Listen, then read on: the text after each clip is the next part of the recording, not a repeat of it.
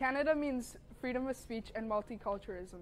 We are proud of our home and natural landscape. We take people from all across the world and treat them as our own.